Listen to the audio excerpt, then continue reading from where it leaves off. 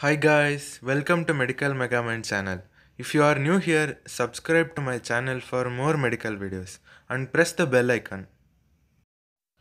In this video, I am going to discuss the developmental anomalies of face. Face is formed by the fusion of various components. Failure of fusion of various components leads to the developmental anomalies. Before starting the developmental anomalies of face, you should know some basic labelings.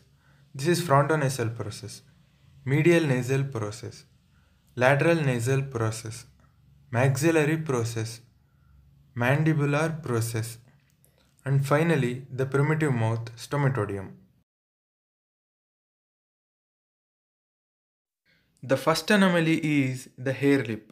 You know, hare or rabbit has a median cleft in their lip. That's why the name is called hare lip.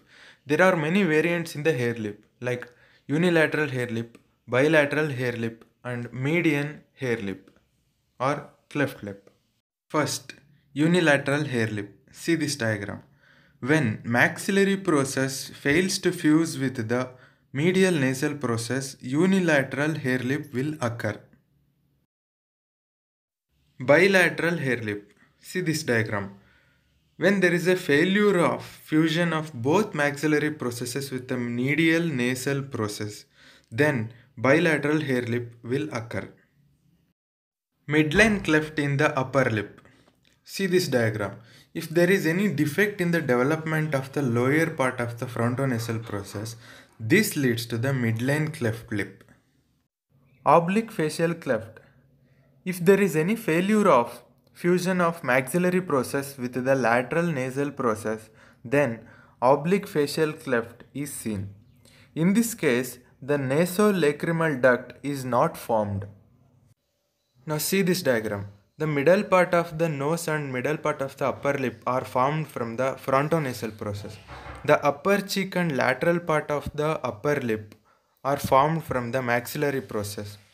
The lower part of the cheek and lower lip are formed from the mandibular process. The maxillary process and mandibular process fuse each other from behind to forward direction. If fusion stops at right position, then normal sized mouth is formed.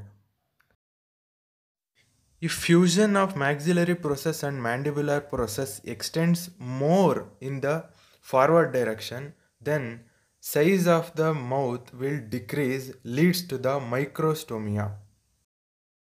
Inadequate fusion between the maxillary process and mandibular process leads to the wide mouth because fusion stops early. That's why leads to the macrostomia.